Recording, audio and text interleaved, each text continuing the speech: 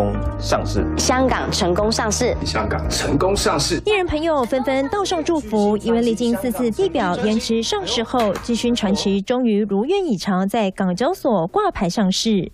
上市首日蜜月行情加持，盘中一度大涨超过百分之四十八，中场涨幅收敛，上涨百分之二十三，收在五点二六元。公司创办人之一周杰伦母亲叶惠美已持有百分之十二点四五股份受益权，身价更直接冲上五千四百万美元，相当于新台币十六点九三亿。昨天它的 IPO 的蜜月行情涨幅四八趴，应该在今年相关港股的一些新挂牌股票里面表现算是相当亮眼的。若是以发行价四点二五港元，相当于新台币十七元来说，每人五百股，只要中签就能直接现赚四千多块。巨星传奇在二零一七年成立，除了主要贩售防弹咖啡品牌之外，还有卖低碳饮料、护肤品等等。虽然周杰伦本人并没有直接参参与巨星传奇的营运，也没有持股，不过公司里光是涉及周杰伦及其智慧财产权的产品，就占了营业额近百分之四十。